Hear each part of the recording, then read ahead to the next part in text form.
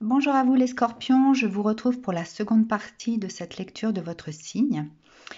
Aujourd'hui est un autre jour, voilà, la nuit est passée, donc j'ai pu me recharger en énergie. Alors, euh, lors de la vidéo numéro 1, vous trouverez euh, donc euh, la description de l'élément eau et quelle influence il a sur votre signe et j'ai également abordé le signe solaire dans différents domaines de la vie en tirant des cartes pour les différentes blessures de l'âme que vous pouvez être amené à vivre. Dans cette vidéo numéro 2, je vais aborder le signe lunaire, tirer une carte euh, pour l'émotionnel, euh, puisqu'il correspond à l'émotionnel tel que nous le vivons, nous l'accueillons et nous l'exprimons. Et enfin, je tirerai une carte pour l'ascendant, qui sera représentée donc par euh, cette carte euh, du visage cassé. Euh, et donc cette carte pour l'ascendant sera plutôt de l'ordre du relationnel, puisque l'ascendant n'est pas seulement le chemin sur lequel nous sommes, mais aussi l'image que nous façonnons et que nous transmettons aux autres sans forcément le vouloir, hein, cette façon inconsciente. Et euh, c'est la façon dont les autres nous perçoivent dans notre personnalité, notre, nos traits de caractère. Hein. Voilà, donc on y va pour le signe lunaire. Donc comme pour la vidéo numéro 1, si jamais vous ne l'avez pas vu, vous n'êtes pas tombé dessus, je continue à suivre ma trame écrite, celle que j'ai utilisée pour tous les signes afin de ne rien oublier. Alors, le signe lunaire est ce qui anime notre émotionnel, notre intériorité. Comment nous réagissons face aux situations? La lune reflète ce qui est caché. Ainsi, notre signe lunaire représente nos réactions instinctives, notre monde intérieur conscient, notre affect. Si vous êtes scorpion en signe lunaire, vous saurez être le détective que vous appréciez dans les nouvelles que vous aimez lire. Vous avez du flair et saurez mettre la main sur ce que l'on vous cache. Aucun détail ne vous échappera. Votre côté fouineur est une nécessité. Vous aimez les défis qui vous demandent concentration, analyse. Un vrai Sherlock Holmes. Mais attention à votre côté empathique. Vous avez un sens inné pour le mentalisme qui vous permettra d'être un excellent psychanalyste, un scientifique chevronné, un colombo intuitif, intrusif, qui ne lâchera pas l'affaire tant qu'il n'aura pas percé le mystère. Curieux par nature, le scorpion euh, va décoder tous les autres, tout chez les autres, pardon. Mais vous ne laisserez guère les autres obtenir des réponses quant à votre intériorité. Hein. Euh, ils seront très curieux vous concernant, mais vous ne lâcherez rien. Une vraie tombe. Un peu agaçant le signe lunaire scorpion. Ce côté fermé peut vexer les autres au point de créer des tensions.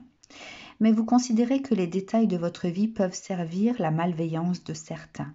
Votre côté paranoïaque se fait alors ressentir. On aurait tendance à vouloir vous dire Eh oh, reviens parmi nous. Tu voyages trop dans le temps. Nous ne sommes plus à l'époque de Jack l'éventreur. Lorsque l'on est enfant, le signe lunaire est très développé et présent. L'enfant ne pouvant dissimuler, il reste lui-même face à son affect. L'enfant, signe lunaire scorpion, peut se montrer fusionnel, magnétique, ayant une forte personnalité qu'il faudra dompter, rancunier s'il est contrarié, ayant une énergie quasi inépuisable, il aura besoin de se défouler pour évacuer. Complice avec ses parents, attaché à ce lien qui le suivra toute sa vie. Aimant la compagnie d'autres enfants et très attaché par l'amitié. Si l'âme d'enfant reste présente à l'âge adulte, ces caractéristiques peuvent encore être très présentes. Alors, je vais maintenant tirer une carte pour l'émotionnel scorpion. Alors, signe lunaire, scorpion.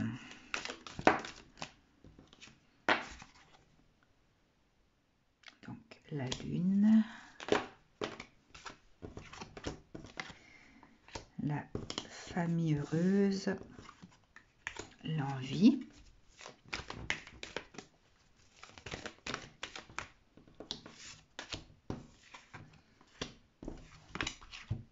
Je vais tout de suite ajuster ma caméra. Voilà.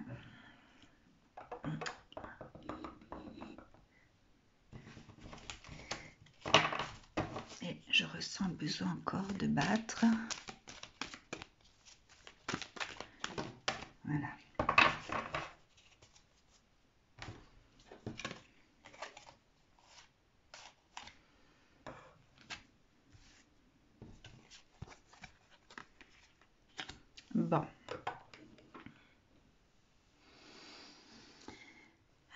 Concernant l'émotionnel, je ressens ici euh, des personnes en signe lunaire scorpion qui ont cette capacité à euh, illuminer les autres,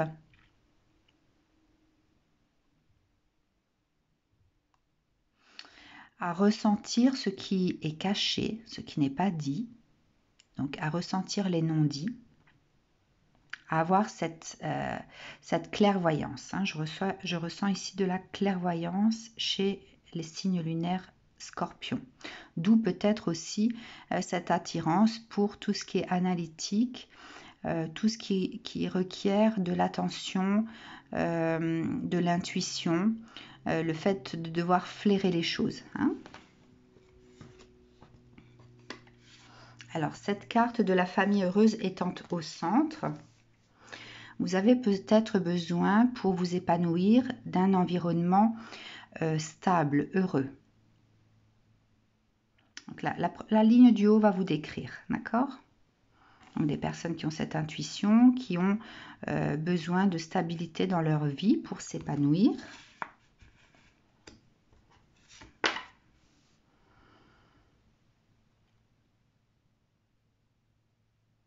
Et euh, des personnes euh, mystérieuses, mystérieuses qui savent euh, se revêtir de ce costume, de cette cape, alors pas d'invisibilité, mais de, de, ce camouflage, voilà, comme le caméléon, hein, le fait de pouvoir, selon les situations, se camoufler pour se protéger. Le fait aussi euh, de pouvoir avoir des tentations, d'être séduit par certaines choses, euh, des choses qui donnent envie, mais euh, vous ne... il y a de la résistance, hein. vous savez vous maîtriser, il y a de la maîtrise ici par rapport à l'envie. Ok, donc ça c'est qui vous êtes la façon dont vous accueillez votre émotionnel.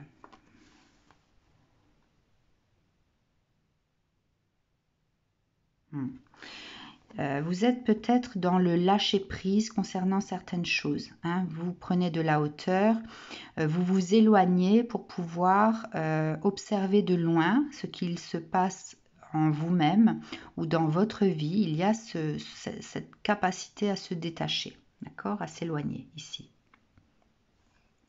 pour avoir peut-être plus d'intuition, plus de ressenti. Hein. ce côté euh, fée, euh, luciole qui s'éclaire, je le ressens comme euh,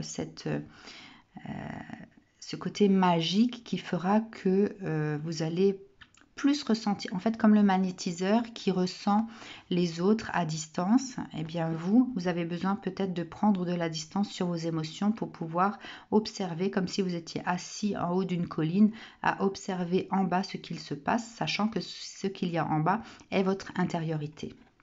Donc cette façon de se détacher. Euh, l'appréciation euh, est que euh, vous aimez les choses justes, à leur place. Alors je dirais pas que vous êtes maniaque, peut-être un peu quand même, mais il y a ce, ce goût pour les choses belles, pour les choses bien faites, pour les choses justes. D'accord? Donc peut-être que lorsque vous accueillez votre émotionnel, euh, avant de manifester quoi que ce soit, vous prenez du recul pour être dans la justesse des choses et pouvoir euh, réagir euh, avec appréciation euh, dans le sens où que ce soit positif ou négatif, votre façon de réagir sera appréciée par les autres dans n'importe quelle situation. Donc ça, c'est la façon dont vous accueillez votre émotionnel. Cette capacité à, analyse, à analyser, à décrypter aussi. Hein. on décrypte sa colère, on décrypte sa tristesse. Pourquoi? Euh, Il y a vraiment euh, euh, cette philosophie que l'on met en place pour pouvoir faire face à son émotionnel. D'accord? Bon. Comment vous l'exprimez vers l'extérieur?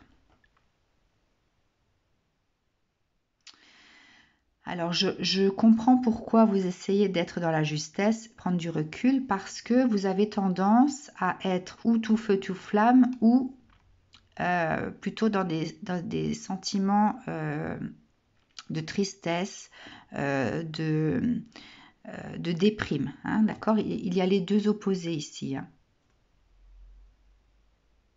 Vous êtes ou nourri ou alors blessé par l'émotionnel. Ok.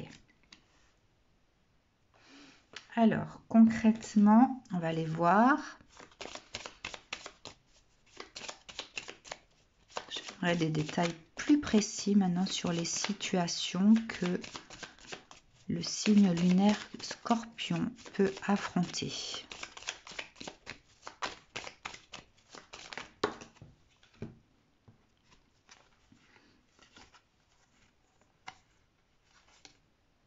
Hmm.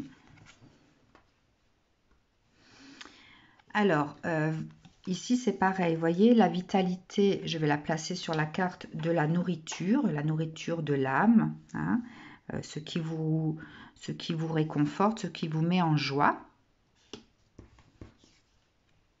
Et l'imprévu sur le cœur blessé. Bon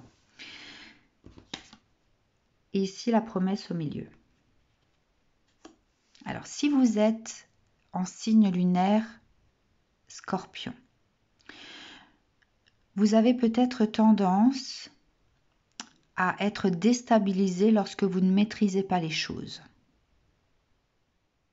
Vous avez ce besoin de maîtrise. D'accord? Alors autant vous avez cette facilité à lâcher prise sur vous-même, sur ce que vous ressentez, que vous avez cette façon d'être déstabilité lorsque vous ne maîtrisez pas ce qui vient de l'extérieur. Euh, les situations auxquelles vous êtes confrontés. Donc là, on ne parle pas du tout de ce que vous pouvez ressentir, mais les situations qui peuvent euh, vous arriver de façon imprévue et que vous n'avez pas pu euh, prévoir, anticiper Hein, vous qui avez cet œil de Sherlock Holmes à, pouvoir avoir cette intuition, vous êtes déstabilisé lorsque vous ne voyez pas les choses arriver. Hein. Donc la, carte de la promesse ici, c'est cette capacité à, euh, à prévoir, à anticiper. D'accord?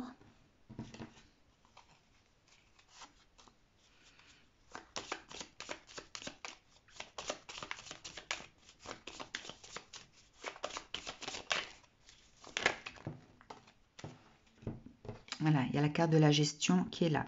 Du coup, ça vous demande énormément d'énergie pour pouvoir gérer euh, ces situations que vous ne maîtrisez pas. En fait, il y a cette gestion de l'extérieur qui vous perturbe euh, alors que vous arrivez à maîtriser votre émotionnel, comment vous ressentez les choses. D'accord? Donc là, il y a un décalage. OK? Décalage entre la gestion de ce qui vient de l'extérieur je pense que. Ce qui vous déstabilise, en fait, c'est peut-être euh, la façon dont réagissent les autres. Que vous, vous êtes dans la gestion de comment vous réagissez, hein, certainement.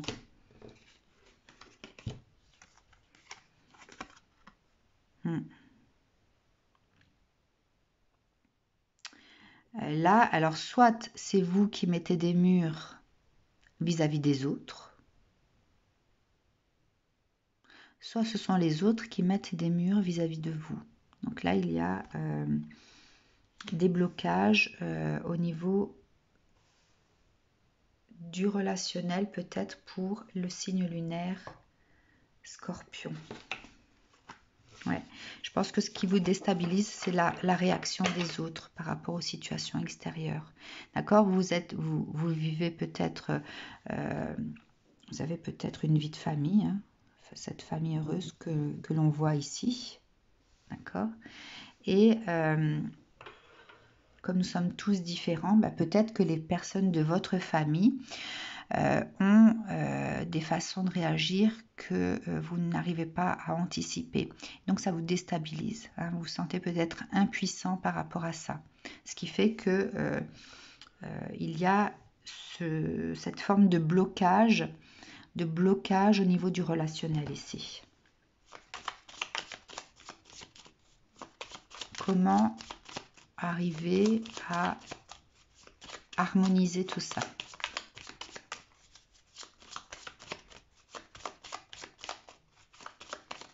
Surtout que vous avez peut-être aussi tendance à être empathique. vous êtes euh, peut-être empathique sans être affecté puisque vous prenez du recul sur ce que vous pouvez ressentir. Mais ce qui vous affecte, c'est euh, ce que l'autre vit.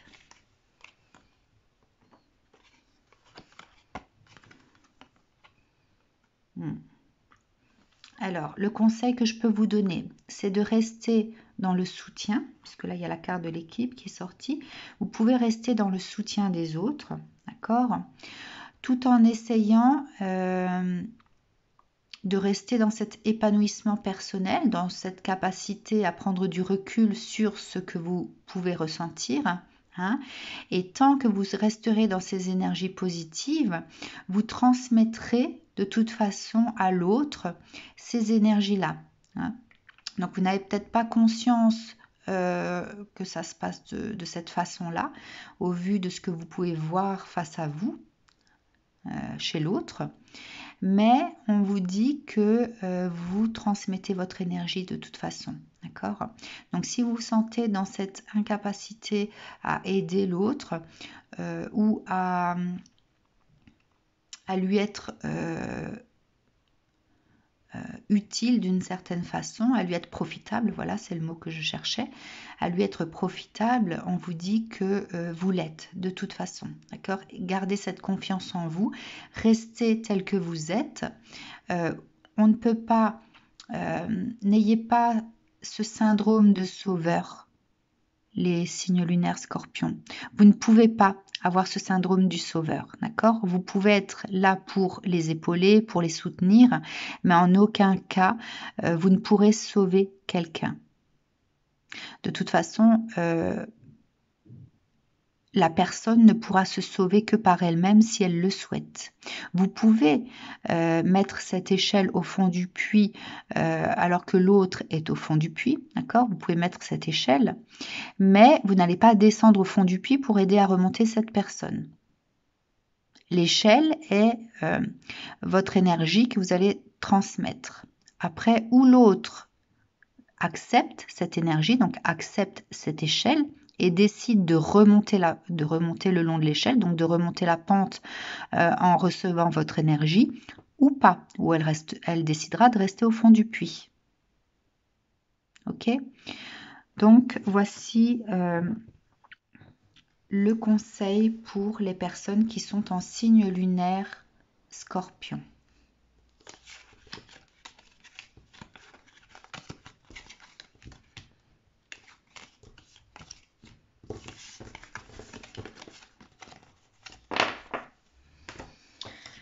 Alors, l'ascendant.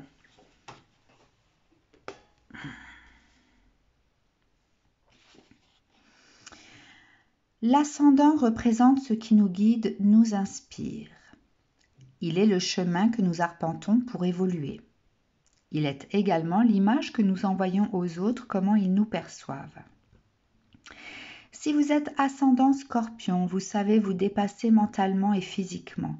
Vous, pouvez avoir envie d'aventure, de conquérir la vie avec cet esprit combatif qui vous permettra d'aller plus loin que d'autres qui ont abandonné. La prison serait la punition la plus abominable et l'ascendant scorpion serait alors capable de s'autodétruire en cas de danger, en cas de privation de liberté. Le scorpion est celui qui tiendra tête qui tiendra par, pardon, euh, son dard en, position d'attaque pour transpercer euh, ceux qui le menaceront. Qu'il soit seul ou non contre une armée, il déploiera sa force, son courage, son endurance pour écraser un maximum de ses ennemis avant même de succomber. L'ascendant scorpion est une force en soi qui pourra être un réel avantage si cela vous permet d'avoir de l'audace, d'être passionné, d'être loyal, volontaire. Mais cette force pourra aussi vous conduire à n'avoir jamais assez. Attention aux excès, à la balance d'émotions constamment déséquilibrées pouvant avoir un goût destructeur. Voici comment les autres vous perçoivent. Imprévisible, mystérieux, bouleversant, sensuellement séduisant, tenace, convaincant par usure, voulant braver le temps pour accélérer son avancée ou doté d'une patience perverse, pour vous venger. Suspicieux, intelligent, manipulateur, autant conflictuel que généreux. Hein, donc ça, c'est l'image que vous transmettez aux autres de façon inconsciente. Vous qui êtes ascendant scorpion. Je vais tirer maintenant des cartes pour le relationnel.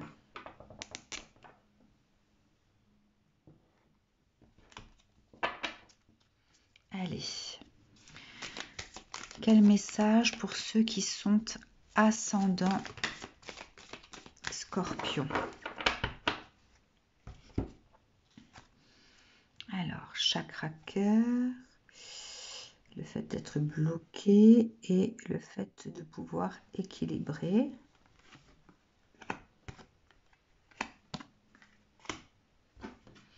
D'accord, ensuite.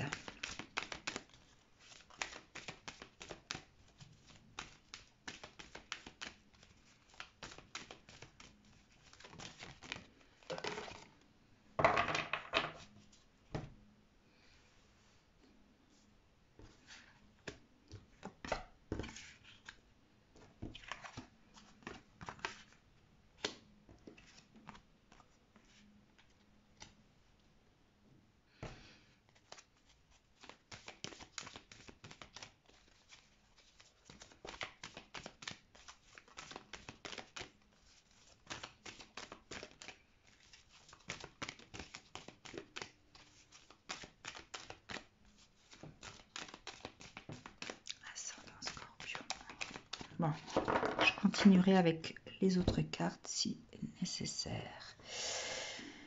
Alors, l'ascendant scorpion. Euh, ici, on parle du chakra cœur.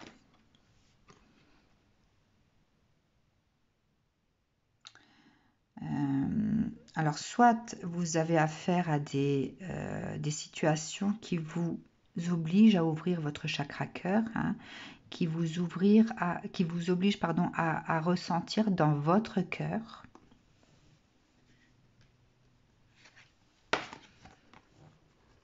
Parce que vous avez peut-être tendance à, euh, à retenir, retenir ce que vous ressentez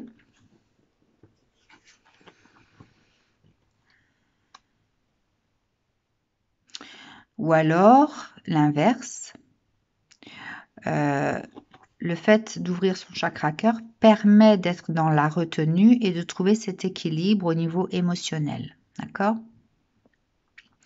Donc là, on est dans le relationnel, on est dans l'ascendant, on est sur son chemin de vie également. Donc peut-être que sur votre chemin de vie, vous vivez des situations euh, qui euh, vous transpercent le cœur, qui euh, qui sont là pour réveiller votre émotionnel, ce que vous ressentez au fond de vous, mais en ayant cet équilibre pour ne pas,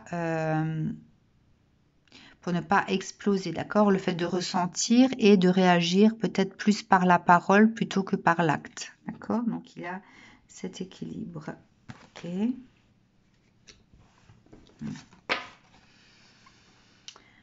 Alors, au niveau du relationnel, vous pouvez très bien tomber sur des personnes perverses, être attiré par des personnes perverses. Alors, c'est peut-être pour ça aussi que euh, vous avez l'ouverture du chakra cœur, hein, d'accord?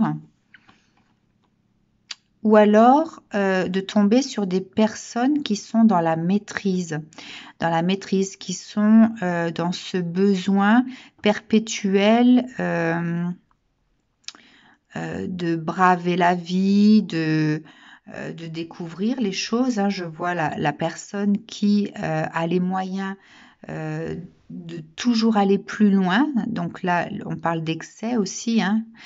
Ou alors des personnes qui sont trop dans le contrôle. Hein. En fait, il y a deux, deux extrêmes ici. Il y a la perversité et il y a le contrôle le contrôle, mais euh, je vois, vois pas le, fait de vous contrôler ou de vous manipuler. Hein. Je vois plutôt le contrôle euh, euh, stabilisateur de la vie. D'accord? Le fait d'être un peu trop maniaque, trop prévoyant, trop de ne pas vouloir dépenser, la peur de manquer ici. D'accord? Donc vous avez tendance à être attiré peut-être par ces deux, euh, ces deux types de personnes. Ok, alors quel message à recevoir concernant le relationnel pour les ascendants scorpions? En fait, vous êtes attiré par des personnes qui sont euh, toujours dans l'excès, vous n'arrivez peut-être pas à trouver, euh, à tomber sur des personnes qui sont dans, dans cet équilibre que, vous recherchez pour vous-même. Hein. D'accord? Euh, On vous envoie toujours des personnes qui sont à l'excès. Alors peut-être pour justement euh, vous faire prendre conscience que l'équilibre est nécessaire, d'accord? Déjà pour vous-même et vis-à-vis des autres pour, en fait, en tant qu'effet miroir, d'accord? Vous êtes peut-être vous dans l'excès euh, pour certaines choses. Donc là, je ne parle pas que de l'émotionnel, vous êtes peut-être dans l'excès pour certaines choses, d'accord? Et on vous envoie, on met sur votre chemin, puisque l'ascendant c'est aussi le chemin sur lequel on est, on met sur votre chemin d'autres personnes qui sont dans l'excès, mais pas dans le même que vous. Hein, donc cette perversité et ce contrôle euh, incessant de, euh, de toujours prévoir, de, euh, il n'y a pas de liberté là à l'imprévu. Hein, d'accord? Bon. Alors, ici, il y a la confusion qui est sortie et ici, la carte du mois. Alors, plus de précision.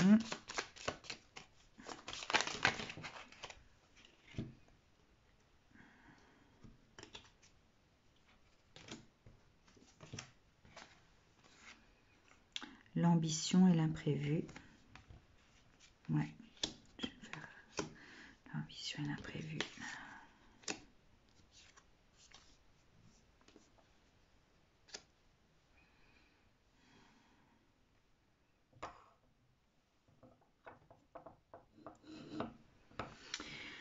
Alors, si vous tombez, si vous avez tendance à tomber sur des personnes perverses, c'est parce qu'en vous, il y a une certaine confusion. Confusion de qui vous êtes ou de qui vous voulez être. D'accord? Et ces personnes perverses sur qui vous tombez vous obligent à vous dépasser, à chercher en vous votre vérité pour savoir qui vous voulez être, qui ou qui vous êtes vraiment. D'accord? Donc là, on, vous pousse dans vos limites ici. D'accord? Donc c'est pour ça que vous tombez sur ce genre de personnes. C'est parce qu'il y a de la confusion sur qui vous êtes vraiment. Hmm. Si vous tombez sur ce genre de personne qui est trop dans le contrôle, qui ne laisse pas place justement à l'imprévu, c'est parce que vous, dans votre vie, vous êtes trop, euh, vous êtes trop attiré, euh, comment dire, vous ne, prévoyez pas assez les choses, euh, vous êtes trop dans l'imprévu, d'accord? Vous ne laissez, vous laissez trop de place à l'imprévu, voilà. Vous laissez trop de place à l'imprévu et du coup vous tombez sur des personnes qui ne laissent aucune place à l'imprévu. Donc là, vous attirez votre opposé pour vous obliger à trouver cet équilibre.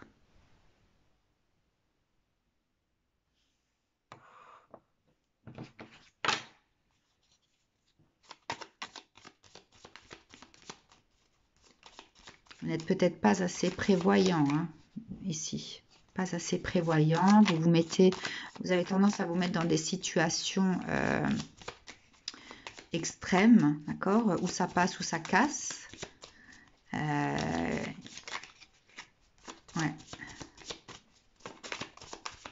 Vous n'anticipez pas trop sur les conséquences ici, dans ce cas-là, d'accord?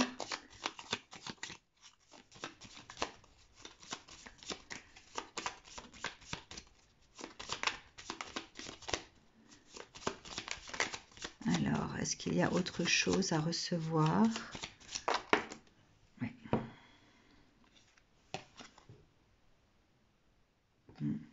Alors, je dirais que c'est la carte finale. Cette carte de l'équipe me fait vous dire que, quelle que soit la situation que vous vivez, hmm, cela vous oblige à prendre conscience que euh, les personnes que vous allez trouver sur votre chemin ne sont le reflet de ce que vous ne, sont que le reflet de ce que vous avez besoin euh, de travailler, besoin de recevoir pour pouvoir évoluer. D'accord? Donc, on vous place ces personnes sur ce chemin-là. Si c'est un chemin, euh, euh, alors on peut le considérer comme un chemin spirituel, un chemin de vie, euh, pour justement avoir cette compréhension de qui vous êtes. Donc, on ne vous met pas sur votre chemin ce que vous souhaitez, mais ce dont vous avez besoin pour évoluer. D'accord? Donc, en fonction de ce que vous vibrez, en fonction de ce, que vous émettez au niveau de la pensée, vous attirerez à vous euh, la, la contrebalance, donc votre miroir, votre opposé, pour pouvoir réajuster, pour pouvoir rééquilibrer. D'accord? Donc là, il faut que vous ayez conscience de ça pour vous qui êtes ascendant Scorpion. Voilà, je vous souhaite un très bon week-end. Je vous dis à très bientôt les ascendants Scorpions et voilà, prenez soin de vous.